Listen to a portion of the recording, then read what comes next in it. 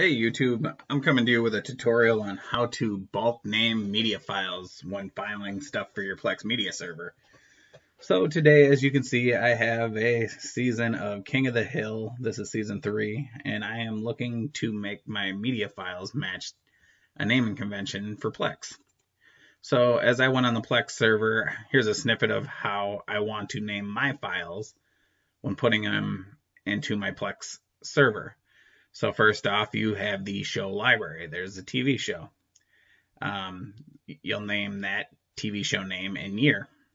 Uh, then in that folder, you put on the season number, and then in there, you label each season the show name, episode, and episode name. So instead of copy and pasting this one by one, I'm going to show you how to do it in bulk. As you can see, they're labeled right here. And not only that, I'll show you how to achieve the names from the same place the Plex server goes and pulls all of its metadata. So opening up this Excel file I have right here, this uh, change file names, we're going to open that up. As I get into that, the first thing I got here is the database input. We're not going to look at that right now. We're going to go to the file converter. I got this from somewhere else on the internet. I did not create this piece right here. Um, this was made by somebody else. I just forgot where I got it from. So if I do figure out where I got it from, I'll leave a post in the description on where I got it from to give the creator credit.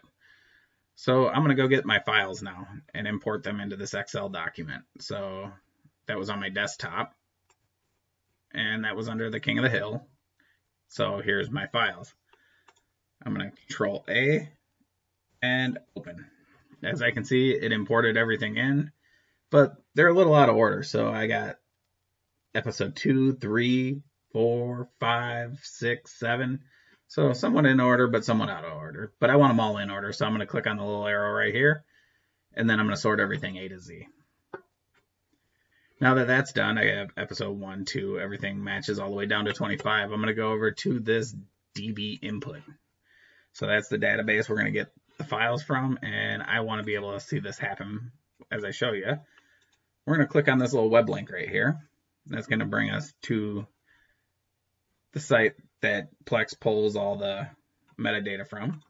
We're going to search for King of the Hill.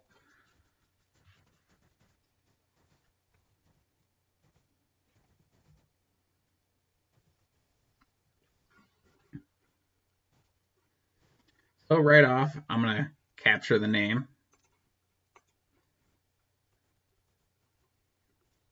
I'm going to paste that right here to match the destination format. And if I scroll over just a little bit, you see it populated King of the Hill all the way down. Now I'm going to go back to the website.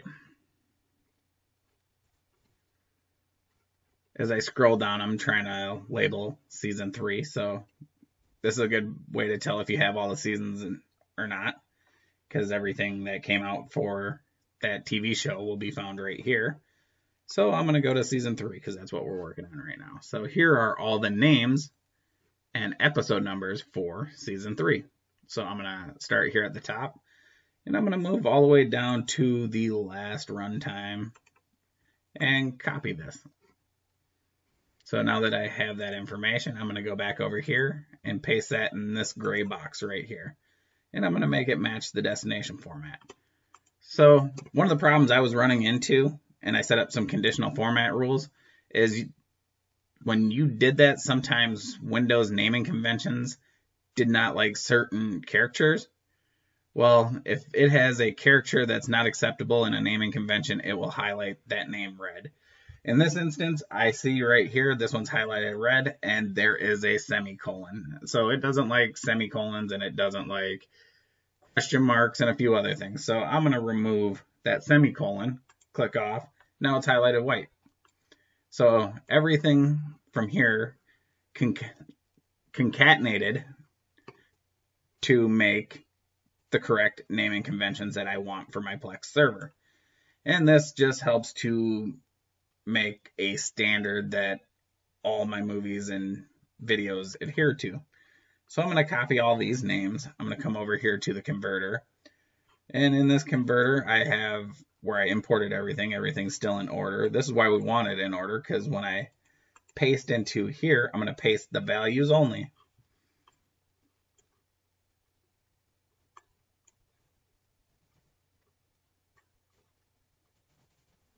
And I'm going to blow this up just a little bit so you can see.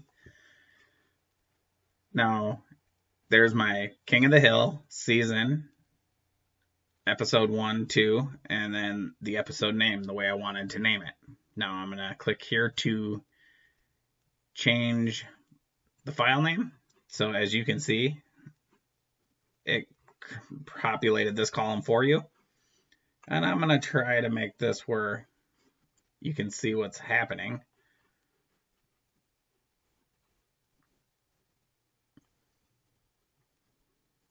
So I'm going to move this just a little bit because the freeze panes is on and it's trapping everything there. So it's got the names that we want to name all these files. Now that it's got that, we're going to click this change name in folder. When we click that, give it a second. As you can see, it started to change things in the folder. It's thinking.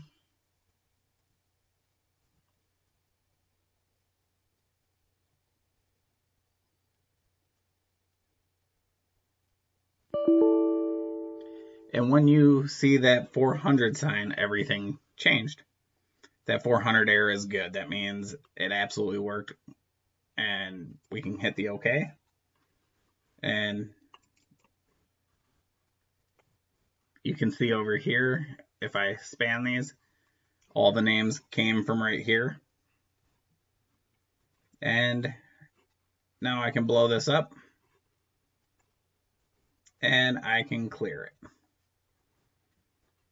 So I'm going to close this out. I, I'm not going to save it because I always leave it empty.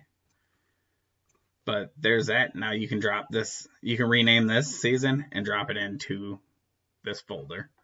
So name it season 03, drop the whole season in there, and everything's labeled the way Plex looks for it in IMDb. It, this will help reduce finding things that don't match within your server. This will ensure that everything that Plex is looking for, it's going to find. So if this helped you in any ways, please like, subscribe, leave a comment if you have any comments, and uh, look forward to more videos coming. Thanks.